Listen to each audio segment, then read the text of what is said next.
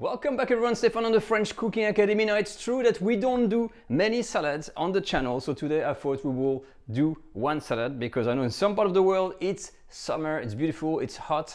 So I propose to you to discover the famous salad lyonnaise, which is a, a salad made in the style of the city of Lyon in France. It only used very simple ingredients and some green lettuce, and it's called I think in English endives, it's called chicorée uh, in French or frisée, some garlics, some smoky bacon, we're gonna have some beautiful croutons, of course medium boiled eggs, but what makes that salad special? It's the dressing using walnut oil. Get to your pans and let's go.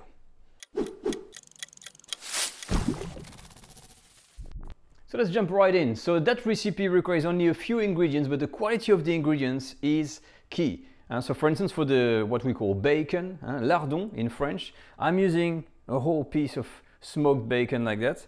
Uh, and we're just gonna have to uh, trim it. Uh, so depending on how you buy it, you don't want to keep all the rind here. Uh, so we're just gonna kind of get rid of all that, that rind. Oop, a bit tough there. And maybe if you have something really fresh like me, same thing here. Uh, you can get rid of a very thin layer and keep that for uh, to flavor soups or beans, uh, for, for instance, when you do dry beans. And then from here, uh, we're then ready, we have a nice piece.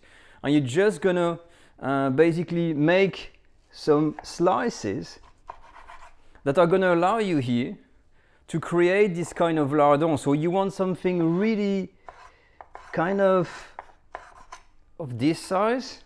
This is the large ones. But if you really want something, uh, you know, from a good experience, I like to make these really thin ones. Now the other item that's important, of course, it's the bread. We're gonna make croutons. So there's two styles. Some people like to make this kind of squarish and the typical little cubes, uh, the croutons, but sometimes uh, in Lyon, what you will have is uh, slices. So I'm gonna cut that piece of bread here. So what you can have is the whole slice of the bread like that, uh, and try to make it really kind of thin like this. So that's that's how thin. You don't want something, you know, you're not gonna cut like a, it's not a sandwich, right? So I'm gonna try to use those because I kind of like uh, to use these ones because we're gonna coat them with garlic uh, in the recipe. And it's gonna be easier to use like a whole crouton rather than small ones. Finally, let's talk about the eggs and the salad. Huh? We call the salad, I don't know if you call it lettuce in English. And uh, we call it the frisée uh, in French, which means the, uh, the curly hair salad and because of the curls like this you see. Uh, so that's very important to wash your salad especially this type. If it's uh, really uh, from the market and there's going lots of sand so remember to wash. You wash it twice. Uh, one bath of water and you scoop it out of the water. And when you when you take it out you take it out like that. You don't kind of let the water recede and then grab the salad because you're going to mix it with the sand again. So two water bath for the salad and the eggs we're gonna boil them. It's gonna be medium boil. And what's important when you make these eggs, like hard boiled eggs, room temperature. Don't take your eggs from the fridge and plunge them in boiling water because obviously with a thermal shock, chances are they're gonna break, you know, they're gonna crack. So room temperature, and then we're gonna see how to cook them. Okay, so let's make some medium boiled eggs. It is between the soft boiled egg and the hard boiled egg. We still want to have the yolk, it's a little bit creamy. So what is the technique? Boiling water. You take your eggs in boiling water and you're gonna plunge them in gently. And so you can use a spoon. Don't don't drop them like this, like at a swimming pool when you try to make a, a bomb, as we say in, uh, in French. Okay, up.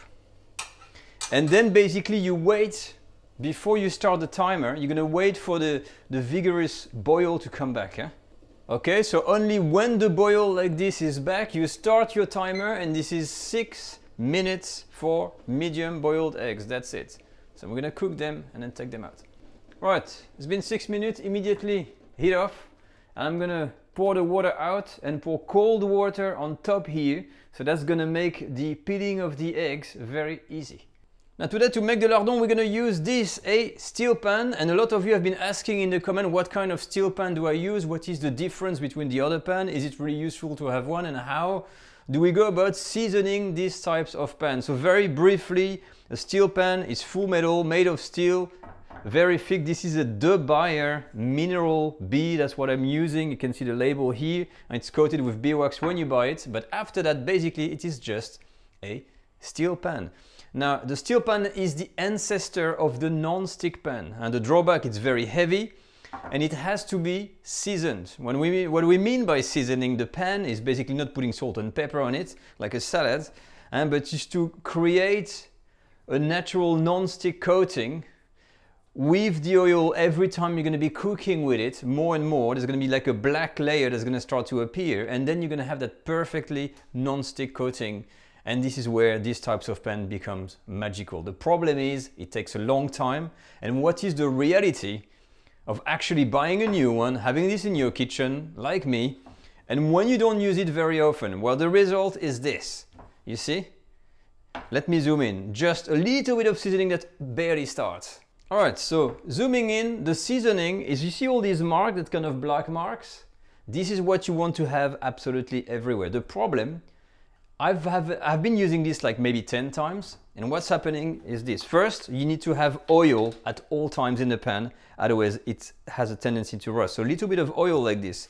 And when you take a paper towel, this has been sitting in my drawers and I've been oiling it what will happen automatically when you clean it before you use it, as you will see on the paper here, is this. There's always that kind of little rust, that residual metal that tends to form in the pan, meaning the maintenance at the beginning it is pretty intense. So the best thing if you want to use one of those, and I'm gonna start using more and more because I need to season it, is just use it. Only oil stuff like butter, oil, don't use any acidic product, no tomatoes, nothing like that, okay? So let's use that to make the lardon. Now that sounds like a lot of drawback, right? It's not even super pretty when you start like, so why we bother using this? Well, because this is the king of searing. And also you can use metal utensils with that. So using my bacon here, no fat, you see, you immediately get this sizzling effect and that browning effect because the metal gets very hot. And this is what back in the days, this was used extensively and to cook all kinds of meats and to really get this, this brown colors and the searing that we all love. Okay, so let's make some lardon. All done. So look at that. That took basically what? Two and a half minutes. I'm gonna take them out, put them on a paper towel to absorb the excess of fat and we're gonna do croutons. Okay, so my lardons are ready. Let's make some croutons. So this pan, uh, you never wash it. I've just rinsed with water or what you do, you take a paper towel and again to keep the fat in, boom. I'm gonna warm it up and this time I'm gonna use butter instead of oil because we like to have this buttery croutons. Now this pan loves fat, so anything with fat, this pan will really enjoy and you will benefit for just using it with fatty stuff. Okay, so we want to make crouton with this, no problem. Take your piece of bread and same thing. You don't even need a very high heat, which is great with these pans. And you'll still get that brown color that you want. This is what we we love using sometimes these pans in France. Alright, so again, two minutes in. It's not a photogenic type of pan, yes, but look at the results. Let's turn these things, it's been on low heat, about two minutes. Boom, look at that. That is a good looking crouton. And voila, my crouton already. Look at this, a little nice coloration on either side, same thing, heat off, paper towel to absorb the excess of fat. All right, so we're almost done. We've got all the elements. And the last thing is the dressing. The dressing, very important, has to be made with walnut oil because that is going to bring a lot of taste. So we're going to start uh, with a very generous dressing. So plenty of salt, pepper. And this time, two large tablespoons. Then using a whisk, Remember, you dissolve the salt with the vinegar first. And to finish, uh, we're gonna have six spoons.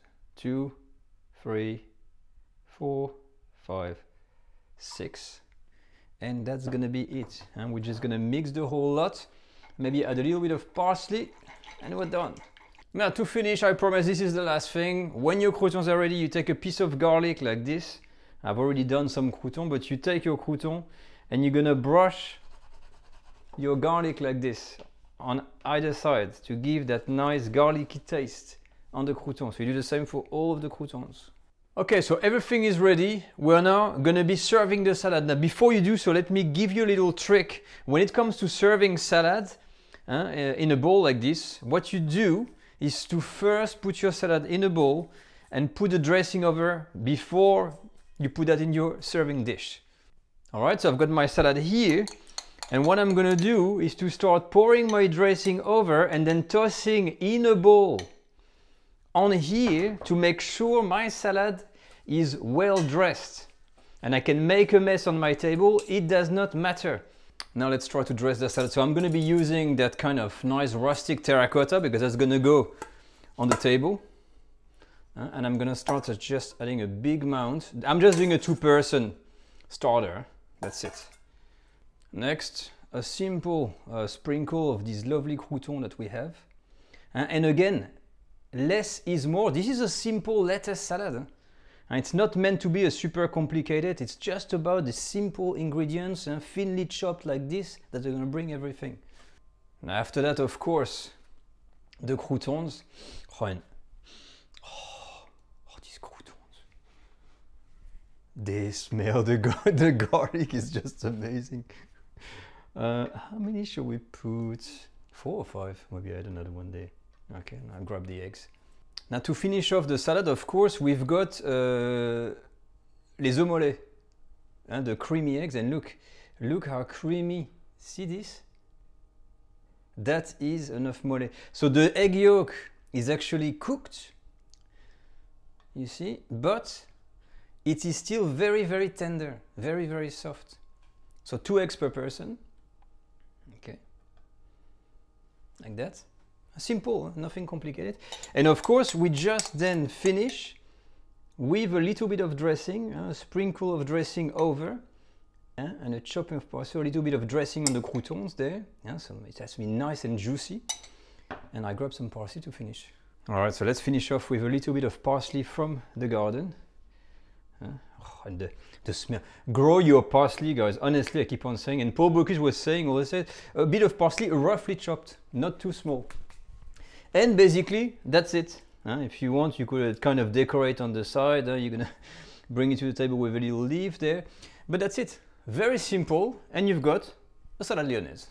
So that's all good, but what about tasting that salad? so who's hungry? Yeah, I am. So um, yes, that's the salad. And as you can see, let's recap a little bit. Look at the creaminess of these eggs. Uh, les œufs mollets, remember, six minutes. Uh, the little lardon that we've got. Let me try one. Mmm. Nice one. But what I want to try, I think, uh, shall I try the crouton? I think I want to try the crouton uh, with an egg and maybe a little bit of salad. To make a little toast like this. Up. And I'll have a taste. Cheers.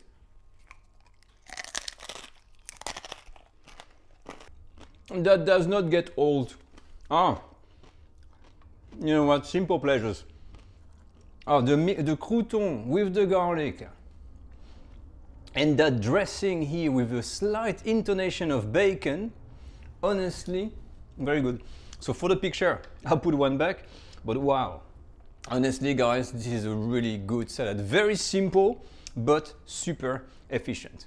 And that completes the video of the week, guys. I hope you enjoyed how to make this uh, simple salad, but very efficient. Remember, the walnut dressing is the one thing that changes everything for the dressing of the lettuce and this œuf mollet, uh, the medium boiled egg.